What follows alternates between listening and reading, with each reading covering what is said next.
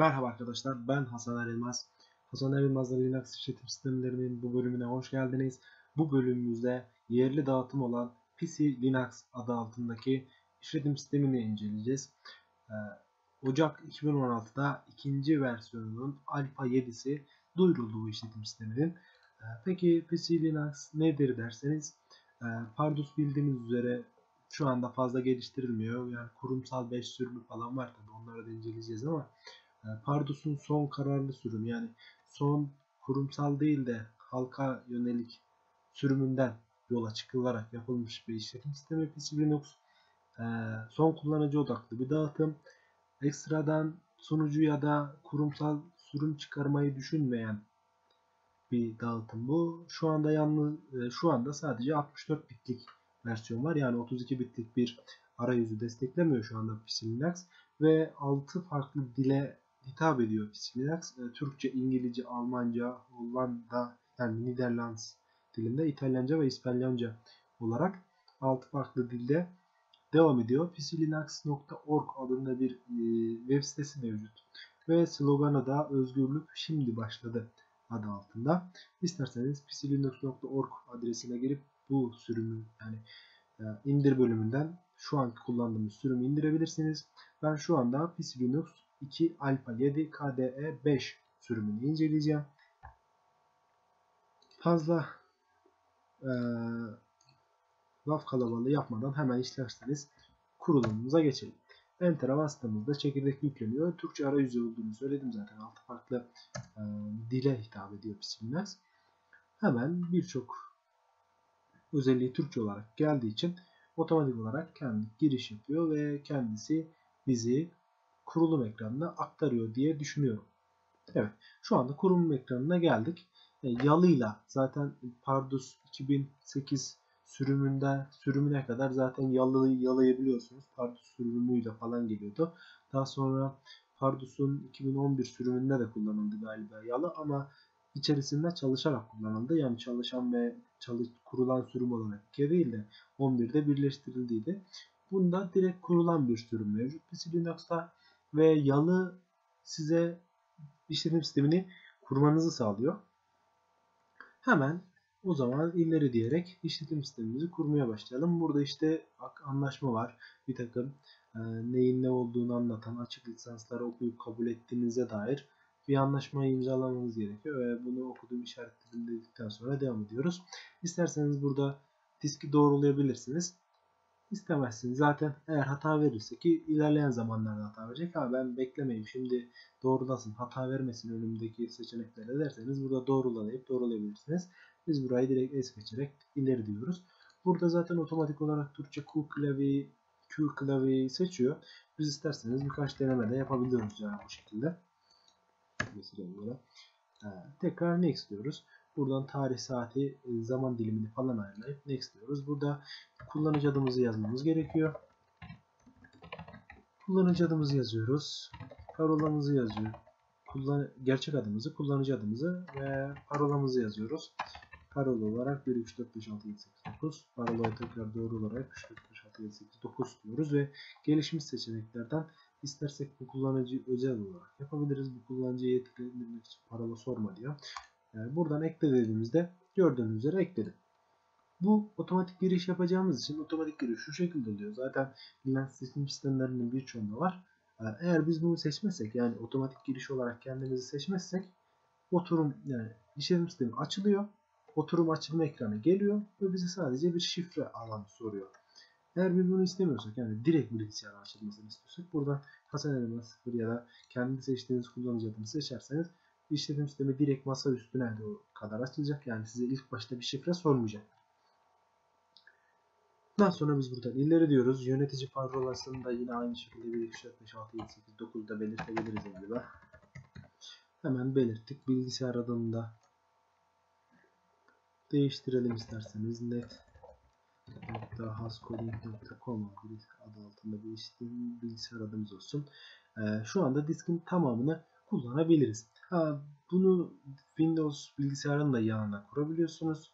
İsterseniz e, şuradan elle bölümlendirme seçeneğinden yanına da kurulum seçeneği mevcut. Buradan yanına atayabiliyorsunuz ama biz geri dönüp diskin tamamını kullanacağımız için diskin tamamını kullanıyoruz ve ön tanımlı ayarlarla kurulmasını sağlayacağız. Ekstra ayarlarını, gelişmiş ayarlarını bu şekilde kullanabilirsiniz. Ama ön tanımlı ayarlar bizim için uygun deyip next diyoruz. Daha sonra en sonunda zaten şurada e, bizim yaptığımız ayarları falan filan gösteriyor. Kuruluma başla diyoruz ve kurulum başlamadan önce bize bir soru bir uyarı soruyor. Söylüyor yani uyarı söylüyor. Diyor ki hard diskinizi sileceğiz diyor. İçinde veri varsa falan silinecek bak diyor. Diski sileyim mi diyor. Biz de değişikleri yaz diyoruz ve kurulum aşağıdaki gibi başlıyor. Kurulum biraz uzun süreceğinden yine de biraz bekleyelim şu arayüzler falan değişsin. Ee, bu arada yan taraftaki alanları okuyabiliriz yani. Ee, Pardus dağıtımının veya benzersiz teknolojilerin bir çatalıdır.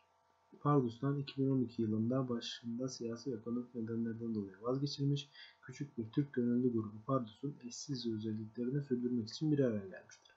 Bu projenin adı Anka'dır. Başlangıçta Anka gibi bu çatalı Pardus Anka olarak isimlendirebileceğini düşündü. Derken geçti. PC Linux en sevilen açık kaynak kodlu internet tarayıcısı olan Firefox ile birlikte yüklenen Firefox harika düzenli ve özellikleri seçenekleri sunan aynı zamanda ve uzantılara sağlamdır falan filan diye. Ayrıca e, Con, Chrome, Conqueror ve Opera gibi diğer tarayıcıları da kullanabiliyormuşuz. Zaten Linux altyapısı olduğu için Conqueror e, Linux'ın Internet Explorer'ı gibi bir şey. Yani zaten KDE'yi yüklediğinizde direkt Conqueror falan da komple içinde geliyor. Hani Microsoft Windows, Windows yüklediğinizde Internet Explorer veya Microsoft Edge nasıl altyapısında geliyorsa aynı tarzda Conqueror'da KDE'yi yüklediğinizde yanında gelen bir tarayıcı. Thunderbird adındaki e-posta programımız zaten içinde geliyormuş galiba. Anlık mesajlaşma, KPT gibi zaten KDE'nin yanında geliyor onlar ekstradan. Skype için Cook veya bilmem ne. LibreOffice kullanıyor bu arada PC Linux. Zaten birçok dağıtım OpenOffice'tan artık LibreOffice'e geçti. LibreOffice biraz atak yaptığı için daha böyle anlaşılır tarzda falan. Zaten ikisi de aynı da. Evet, OpenOffice'la LibreOffice'e baktığınızda aynı yani. Ama LibreOffice biraz daha davrandı demek ki arkadaşlarla falan çevresini arttırdı. Birçok kamu kuruluşunda da kullanıyormuş zaten. OpenOffice'da kullanılıyordu. Bir de LibreOffice sadece Linux Linux için var galiba. Ee, Windows için yok. OpenOffice'ın Windows sürümü de var çünkü. Belki ondan dolayı açık kaynakçılar Linux'a ait olsun sadece bizde olsun falan diye LibreOffice'i seçmiş olabilirler.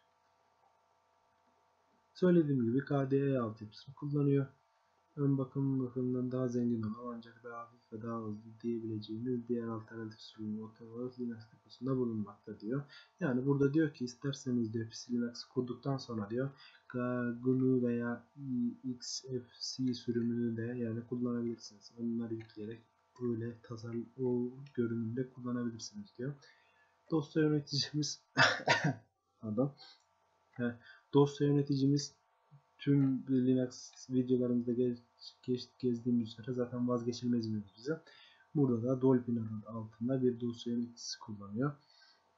Ee, Tabi paket yöneticimiz olmazsa olmaz. Burada Pardus'tan da gelen bir PC paket yöneticimiz mevcut.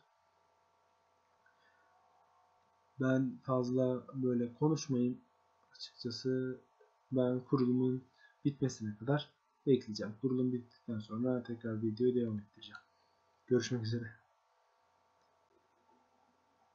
Merhaba arkadaşlar ben tekrar geldim.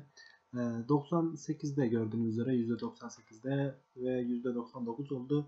Evet Linux'ımızın son anlarına geliyoruz. Bir arayüzü göreceğiz. Ee, nasıl olmuş, güzel olduğunu düşünüyorum zaten. %100 oldu. Ee, kurulum tamamlandıktan sonra ekstra ayarları yapıyor zaten gördüğünüz üzere parola ayarı. Kullanıcıyı da aktifliyor falan filan diye kendi alt tip ayarlarını ayarlıyor. Az önceki yaptığımız ilk ayarları ayarlıyor kendisi. Ben bir bakayım kaydoluyor mu? Evet şu anda kaydımız gayet sağlıklı şekilde devam ediyor. Kullanıcıya eklendi. Açılış yöneticisi yükleniyor. Yüklendikten sonra bize zannediyorum ki küçük bir yeniden başlat butonu ya da büyük bir yeniden başlat butonu verecek. Şimdi diyor ki Linux, PC Linux başarıyla kuruldu. Bilgisayarınız yeniden başlatmanız, PC Linux kurulmaya başlayacaksınız. Lütfen yaptığınızı çıkartın. Emin olun USB'ye, sound, kalır. Evet. Şifremiz 1'den 9'a kadarıydı. İleri diyorum. Ee, buradan diskimi ben hemen bir sileyim ve yeniden başlat. Yeniden başlatırken bekleyin diyor. Büyük ihtimalle yeniden başlatmayacak. Çünkü yeniden başlat komutunu vermemiştik. Evet. Şu anda Welcome to Group dedi ve PC Linux'ımız açılıyor. Güzel bir açılış yapılıyor. Biz tabi hemen şöyle bir PC Linux'ı enter deyip kurulumuna geçelim. PC Linux'ımız şu anda kurulum demişim az önce açılıyor. Yani PC Linux'ımız başarılı bir şekilde gördüğünüz üzere açılıyor.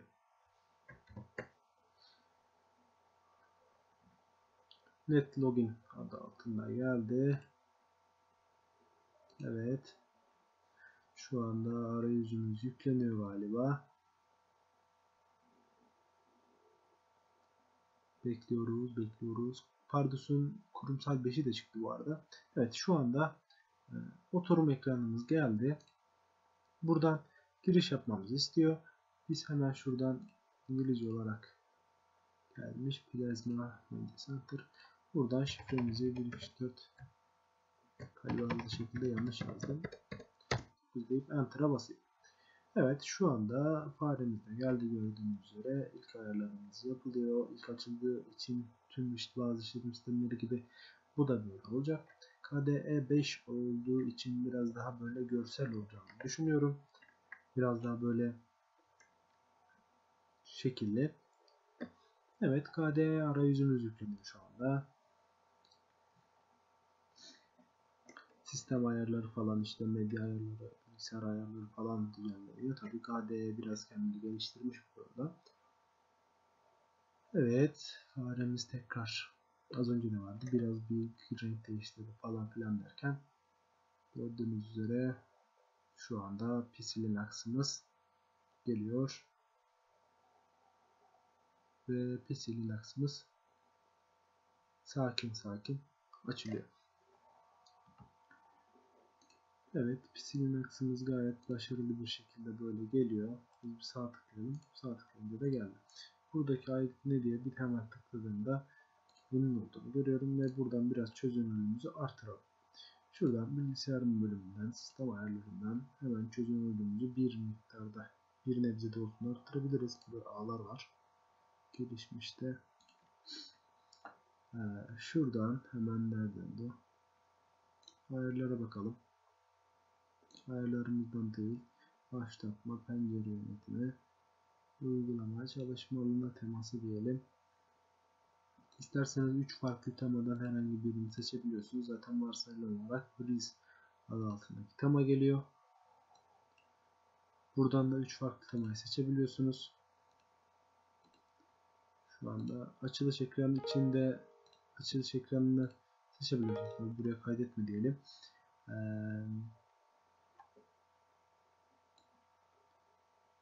bizim görüntü ve ekran diyerekten şuradaki bölümden çözünürlüğümüzü artıralım bir ve uygula diyelim. Evet çözünürlüğümüz biraz arttı. Şunu şöyle çekersek. Evet. Çözünürlüğümüz gayet güzel şekilde arttı. Bunu tutup tabi buraya falan koyabiliriz. İstediğimiz şekilde buraya atabiliriz ya da şuraya koyabiliriz. O farklı şekilde tabi. Ee, buradan masaüstü ayarlarımızı değiştirebiliyoruz bildiğimiz KDE yalnız PC Linux üzerine kurulmuş olan KDE. Arka planımızı değiştirebiliriz. İsterseniz varsayılan arka planı sevmiyorsanız eğer varsayılan arka planımız bu zaten. Şunu seçip uygula deyip tamamlayıp arka planımızı değiştirelim. Daha sonra biz burada sağ tıklayıp ekstradan seçenekler bölümüne girdiğimizde bu şekilde görev yöneticisi vesaire falan filan diye geliyor zaten. Görev yöneticisi tıklayıp tıklayabiliriz ya da direkt başlangıç yani K alt adı altındaki bölümümüze girebiliriz. Burada uygulamalar menümüz var. Bu uygulamalar menümüzde KDP Linux'ta varsayılan olarak gelen e, ayarlar bölümünde bu var. Çoklu ortam bölümünde varsayılan olarak gelen birçok tarayıcımız mevcut zaten. YouTube Browser adı altında bir sistemimiz var. ve tıkladığımızda açılıyor şu anda YouTube browser altındaki eklentimizi buraya tamam diyerek YouTube'dan istediğimiz şarkıyı arayıp enter'a bastığımızda mesela da burada e, gördüğünüz üzere geliyor. Sorun yok. Uygulamalardan tekrar e, VLC Player zaten otomatik içerisinde yüklü geliyor. Tüm programlardan, grafikten, GIMP yani Photoshop olarak adlandırdığımız Linux'ın Photoshop'u geliyor açıkçası yani. GIMP Linux'ın Photoshop'u açıkçası. İnternetten de web tarayıcısı olarak Mozilla Firefox geliyor. Zaten başlangıçta da söylemişti. Tekrar internet olarak Conqueror adı altındaki Internet Explorer'ımız geliyor. Bunlar açıla dursun. Biz ileri diyelim. Ofis olarak e, LibreOffice'in programları geliyor. İşte çizim, PowerPoint, e, Excel, Word gibi şeyler geliyor. Ofise girdik tekrar. Sisteme girdiğimizde sistem bölgesi dosya yöneticimiz var. Burada dosya yöneticimiz de açılsın. Burada tekrar sisteme girip bilgi merkezi diyelim. Bilgi merkezinden şöyle büyüterek gördüğünüz üzere KDE'nin sürümünü, ISO sürümümüzü, RAM'imizi, ekstra özelliklerimizi görebiliyoruz. PC Linux'ımızın linkini görüyoruz. Buradan ekstra bilgilerimize ulaşabiliyoruz. Daha sonra uygulamalardan, yardımcı aygıtlardan arşiv falan da yüklü geliyor içerisinde. Yani WinRAR adı Windows'ta WinRAR olarak geçen burada ARC adı altındaki arşiv yöneticisi içerisinde bilgisayar bölümüne geçtiğimizde burada işte komut çalıştır, sistem ayarları, ev dizini, işte A dizini, kök dizini gibi bölümler geliyor. Geçmişte en son kullandığımız ta programlar gözükecektir. Burada burası dosya yöneticimiz. Şu dosya yöneticimiz bizim biz burada istersek şuradan okey diyerek biz burada istersek yani bildiğimiz Windows gezgininin biraz değişik hali. Burada bizim e, burada bizim dosyalarımızı görebiliriz. Home deyip işte indirilenler, belgeler, videolar bölümümüze girebiliyoruz bu şekilde. Bunu kapatalım. Hemen Mozilla Firefox'umuzu açalım ve sürümüne bakalım. Mozilla Firefox'un sürümü kaçmış? Evet, sürümü 43'müş ki bunu zaten kendi adı üzerinden güncelleştirebiliyoruz. Bu da um, Internet Explorer yani Linux'ın Internet Explorer'ı yani Linux'ın Conqueror'u adı altında Conqueror, Conqueror, Conqueror adı altında bir tarayıcısı. Ee, yani şu şekilde mesela slash home yaptığınızda da bu Conqueror'da KDE 3 ile 2 ile veya 3 ile gelen e, şeyi görebiliyorsunuz. Ne denir o? Dosya yöneticisini görebiliyorsunuz tabi. Bunu Internet Explorer'da yaptığınızda mesela işte C, yazıp iki nokta üstte koyup slash slash gibi şekilde file yazıp ya da başına enter'a bastığınızda direkt zaten sizi gezgin gezgine atıyor. Windows gezginliği atıyor.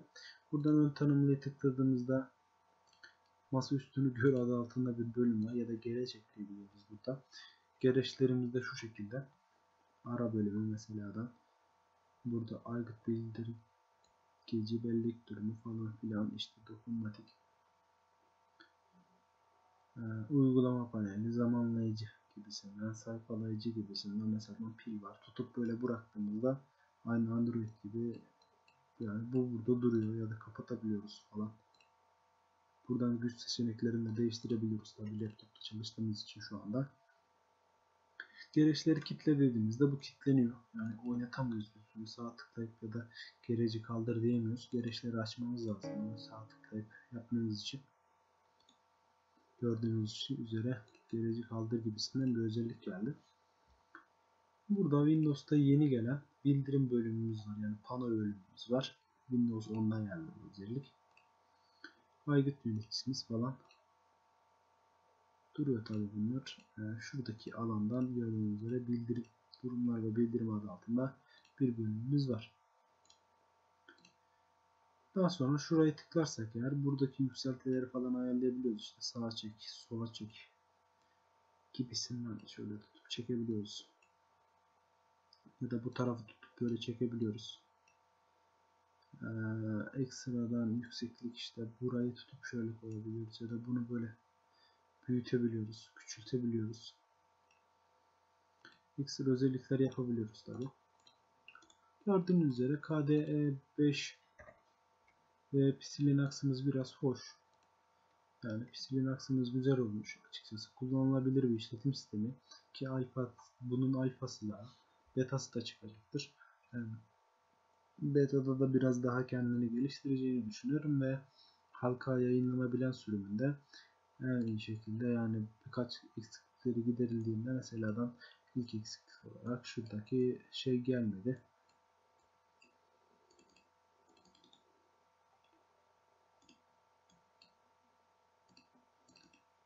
Bilgisayarın bölümü gelmedi mesela. Belgeler bölümü tutup istersek biz bunu buraya atabiliyoruz tabi klasör görünümü olarak görünsün ya da ters gösterdik galiba. Klasör görünümü olmasın bunu kaldıralım şuradan.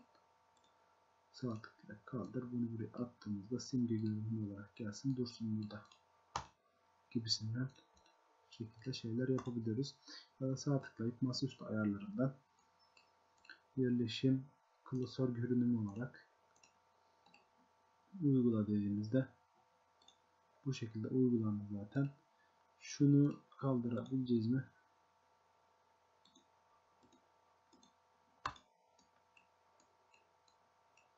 Hemen şu şekilde yapalım o zaman. Sağa tıklayalım. Sağa tıklayalım. Klasör görünüm ayarları diyelim. Masaüstü görünümü yapıp OK diyelim. Şunu sağ tıklayamadık. Sağ tıklayıp kaldıralım. Bunu da kaldıralım. Mesut ayarlarına girip ve şurayı klasör görünümü olarak yapıp tamamlayalım. Evet burası da işte bu şekilde şöyle tutup buraya atabiliyoruz mu? Atamıyoruz galiba. Ee, şuradan zannedersem bir şeyler oluyor tabi.